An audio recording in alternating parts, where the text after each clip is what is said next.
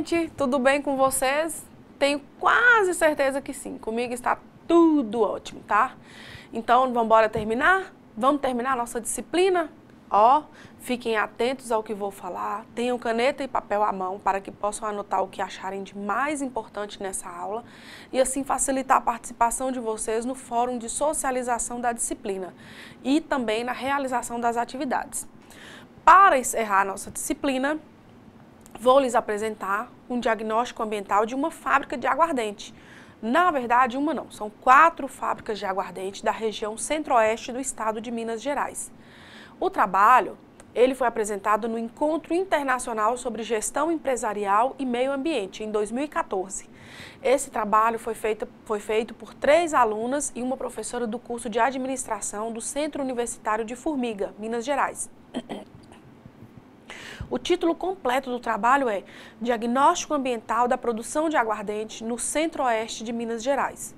O objetivo era diagnosticar a situação ambiental por meio da produção dos resíduos gerados no processo produtivo e, no caso, os resíduos são o vinhoto e o bagaço. Outra coisa que elas queriam também era descobrir o potencial da vinhaça como fertilizante e propor ações para minimizar os impactos gerados no processo estudado. O trabalho é, foi estruturado assim. Primeiro, tem uma revisão bibliográfica que justifica a utilização da gestão ambiental como forma de otimizar o uso dos recursos naturais, melhorar o desempenho econômico e reduzir os impactos ao meio ambiente. A revisão também traz informações sobre as, as principais funções de cada macronutriente na planta. E só de curiosidade, deixa eu mostrar isso aqui para vocês. Aqui, ó. O fósforo, ele tem grande efeito no desenvolvimento do sistema radicular, resistência às pragas e aumenta a quantidade de caldo na cana. O nitrogênio é um nutriente que ajuda no crescimento das plantas, porém não aparece em análise de solo devido, devido ao seu estado gasoso, mas existem formas de fixação de nitrogênio no solo. Vocês já ouviram falar, por exemplo, em bactérias do gênero Rhizobium, que são capazes de fixar o nitrogênio atmosférico no solo? O potássio, ele está relacionado à formação de pigmentos. O cálcio é muito importante no desenvolvimento do, e funcionamento das raízes e é necessário para a formação de folhas normais. Já o magnésio é componente nos tecidos das plantas e em relação ao alumínio, quanto menor o seu teor no solo, melhor.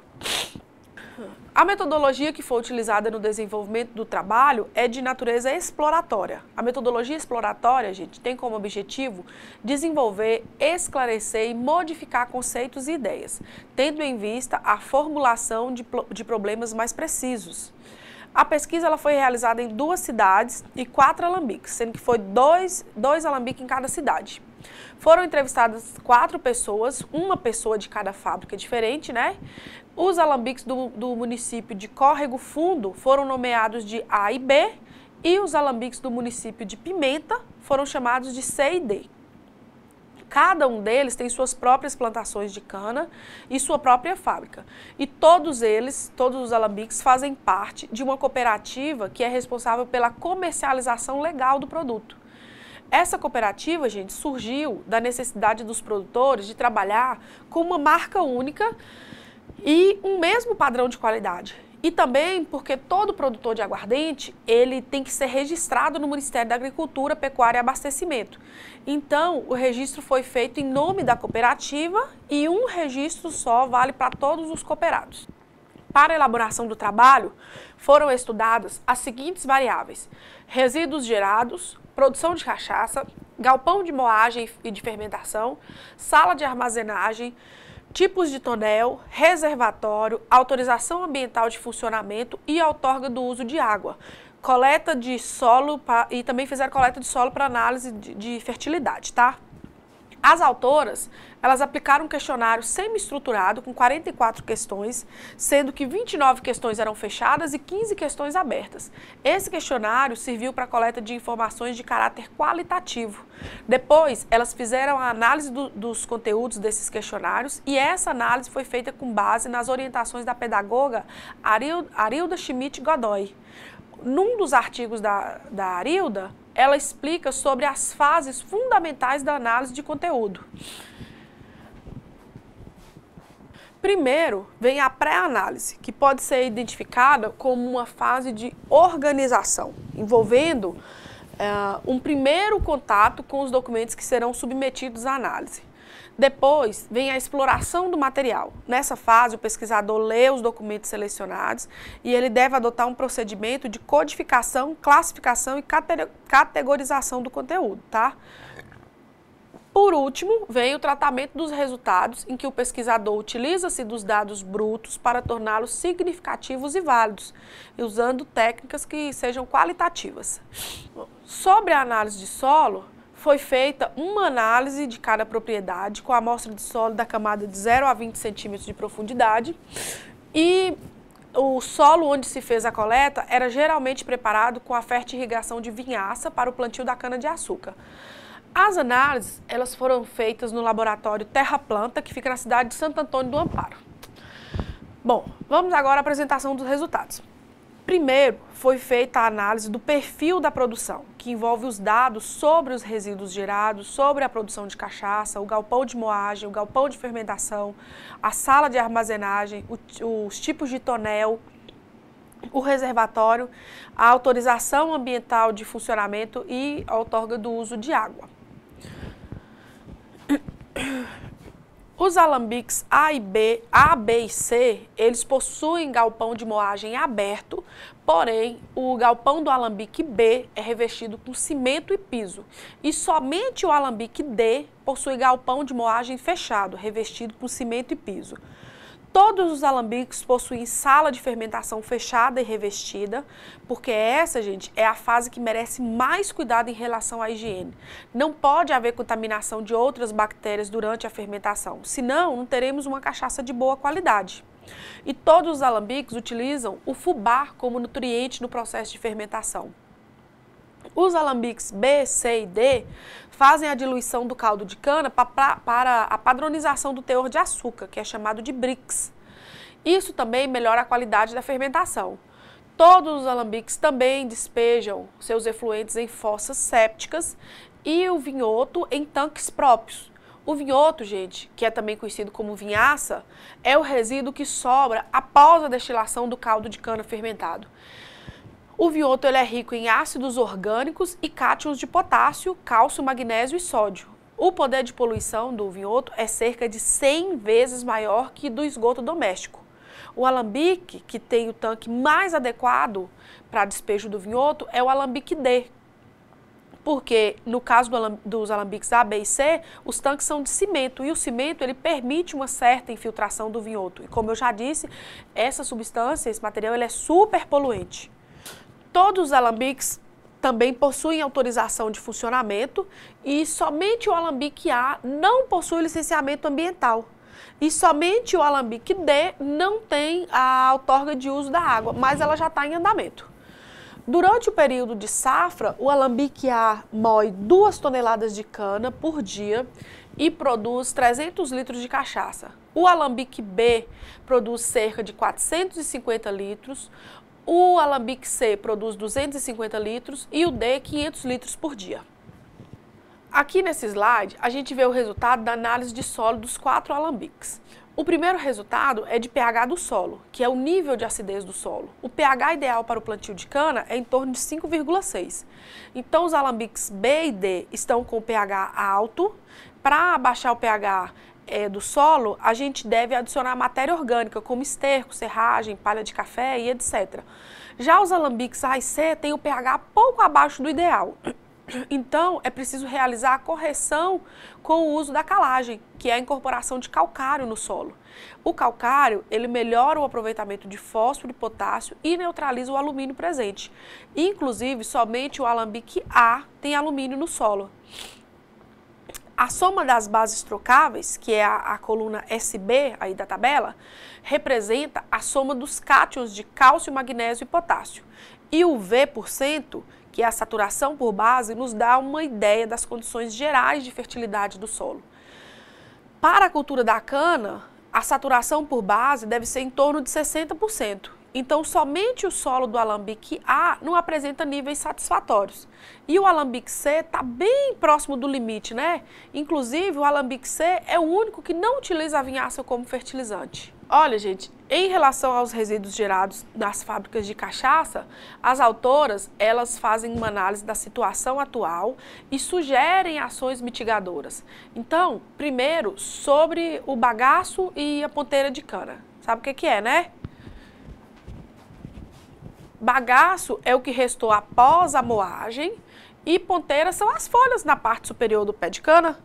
Pois é, quando esses materiais são queimados ao ar livre, produz cinza, que polui o ar, porque a cinza é um material particulado e além de gerar óxido de enxofre que podem causar problemas renais e circulatórios nos produtores rurais e também contribuem é, para a ocorrência da chuva ácida, né? Quando o bagaço é armazenado ao ar livre, sem nenhuma proteção, ele prejudica as vias de circulação do alambique, que permanecem sujas durante o período da safra e o vento arrasta o bagacilho no entorno do empreendimento. Por isso, é melhor manter o, bagaço coberto com lona plástica. As autoras sugerem como opção a utilização do bagaço na alimentação animal, na cobertura do solo, na geração de energia elétrica e na alimentação das caldeiras. E a ponteira, ela pode ser picada e enriquecida com suplemento proteico para ser usada na alimentação animal, podendo também ser utilizada como cobertura de solo. Outro resíduo estudado foi a cinza da caldeira. E a fuligem que é liberada pode provocar problemas respiratórios. A ação recomendada para minimizar os impactos ambientais foi a utilização das cinzas como insumo no processo produtivo agrícola. As autoras justificam essa, essa sugestão se baseando na alta capacidade de retenção de água que as cinzas têm, o que melhora o desenvolvimento da cultura. Assim, a cinza pode ser usada como adubo no próprio canavial e isso evita seu acúmulo nos arredores do, do alambique. Mas nesse ponto, o trabalho das meninas ele apresenta uma falha. Talvez por elas não serem da área das agrárias, né? Como eu falei no início, elas são alunas do curso de administração. A cinza é um material que funciona como corretivo de solo. Tem a mesma função do calcário. E o solo dos alambiques B e D está com pH alto. Então a gente não pode usar cinza na adubação, porque isso vai aumentar ainda mais o pH.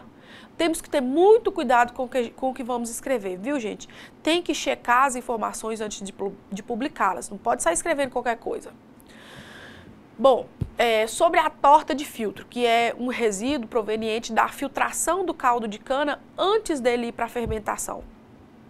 Lá no, no alambique é assim: tem a moeda, que é o engenho, né? Aí a cana entra, sai o bagaço para um lado, o caldo de cana escorre na tubulação e vai descer para os tanques de fermentação, mas antes de cair no tanque de fermentação, esse caldo ele passa por um filtro para poder reter os resíduos sólidos. Esse resíduo, ele é muito rico em matéria orgânica, ele é praticamente, praticamente ele é, ele é a cana, né?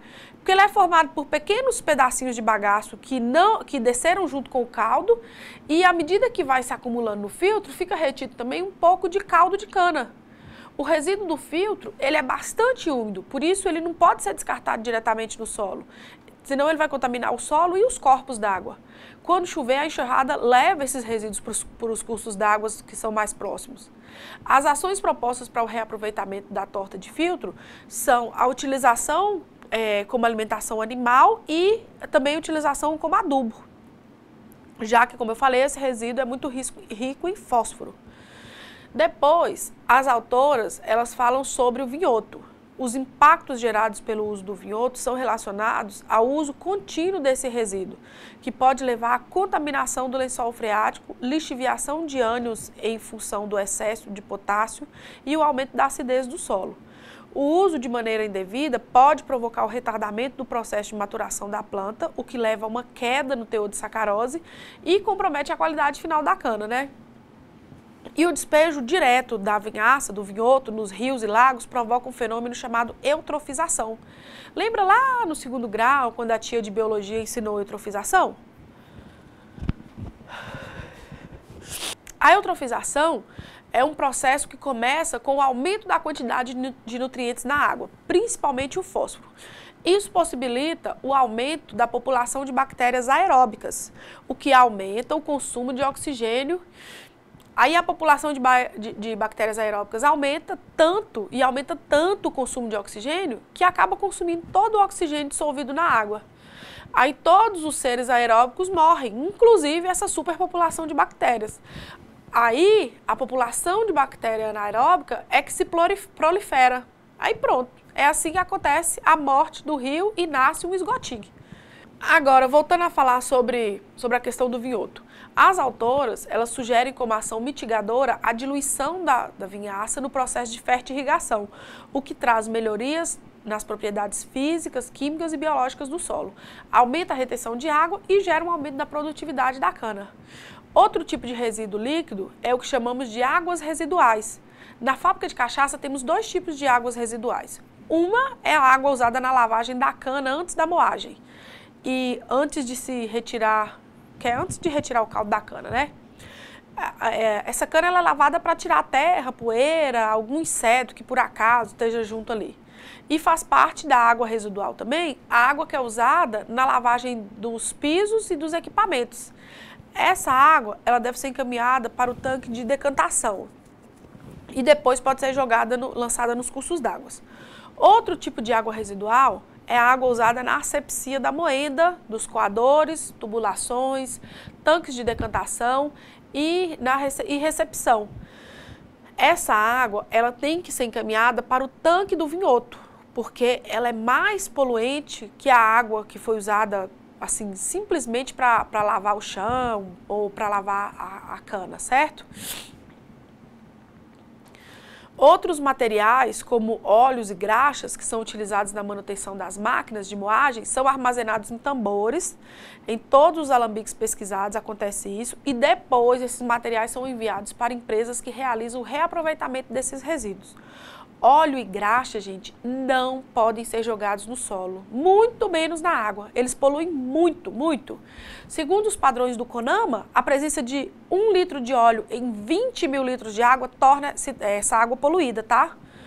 Nas fábricas de cachaça também se produz lixo que poderia ser reciclado, como rótulos de papel, tampinha de garrafa, caco de vidro, sacola, caixa de papelão. Esses materiais, eles poderiam ser separados para coleta seletiva, mas nenhuma das fábricas faz isso.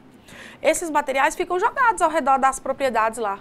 A coleta seletiva, gente, não é só um sistema de recolhimento de materiais recicláveis.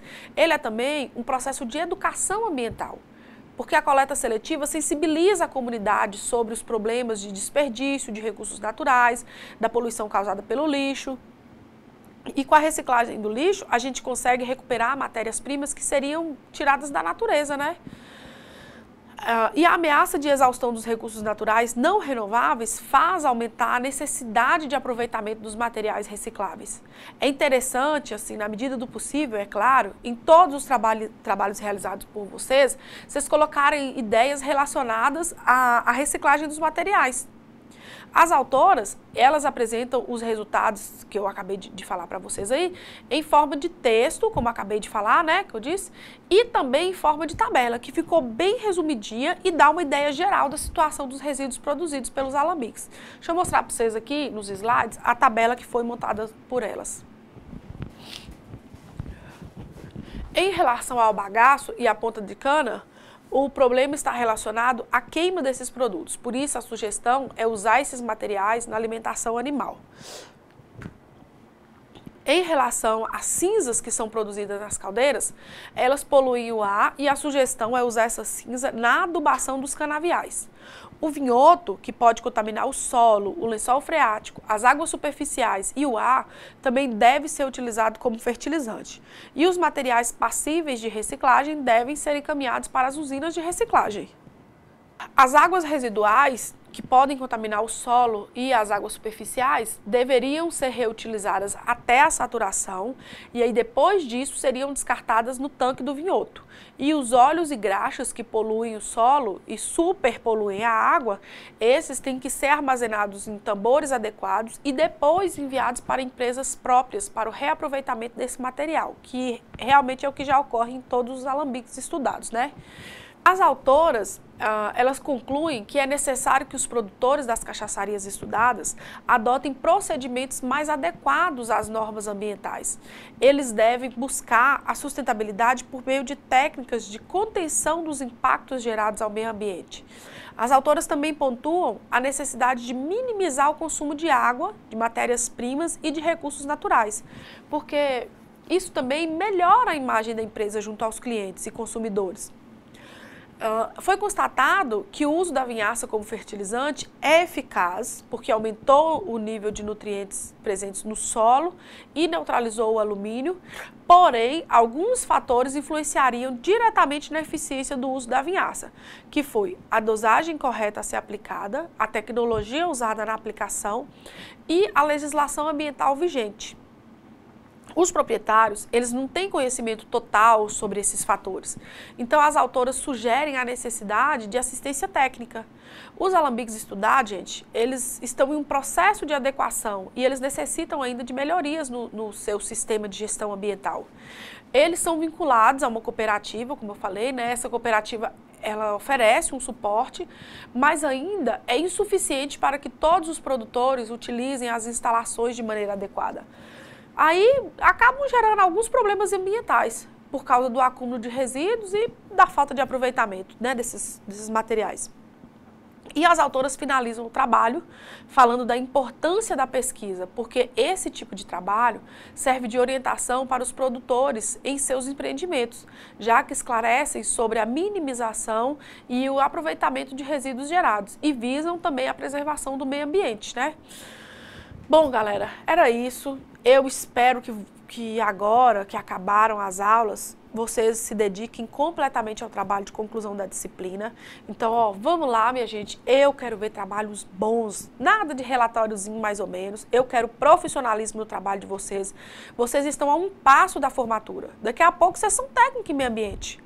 E ó, se me permitem um conselho, esse conselho eu ouvi quando eu concluí a faculdade de agronomia.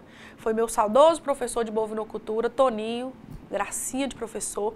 Ele falou assim, ó, nunca rejeite o primeiro emprego. Mesmo que não seja lá aquela maravilha, mesmo que não seja assim o emprego dos seus sonhos, porque o segundo emprego pode depender do primeiro. O segundo passo só pode ser dado depois do primeiro. Então, busquem a excelência no que fazem, aproveitem tudo que a vida lhes oferece, tudo mesmo. Aproveitem as rosas e os espinhos também. E acima de tudo, sejam felizes com suas escolhas, viu? Continuem falando comigo, me mandem um e-mail, participa lá no fórum, viu? Fiquem com Deus, ó. Beijinho, beijinho, tchau, tchau para vocês, gente.